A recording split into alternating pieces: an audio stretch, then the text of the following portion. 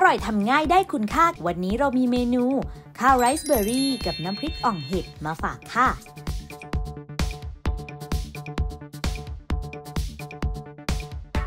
วิธีทำ ใส่น้ำมันถั่วเหลืองตรามรกตลงในภาชนะ นำขึ้นตั้งไฟ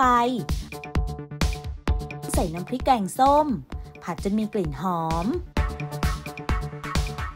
ใส่เห็ดฟางสับหยาบมะเขือเทศราชินีผ่าครึ่งและน้ำผัดจนกระทั่งสุก